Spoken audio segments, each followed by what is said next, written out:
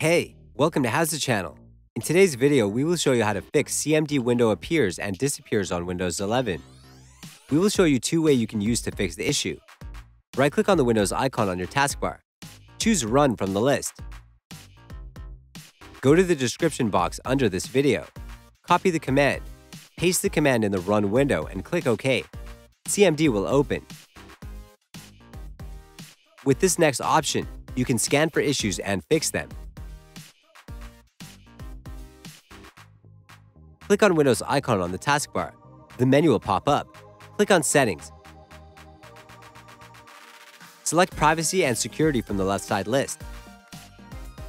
Go to Windows Security. Click on Open Windows Security. A new window will open. Go to Virus and Threat Protection. Click on Scan Options. Check Full Scan option.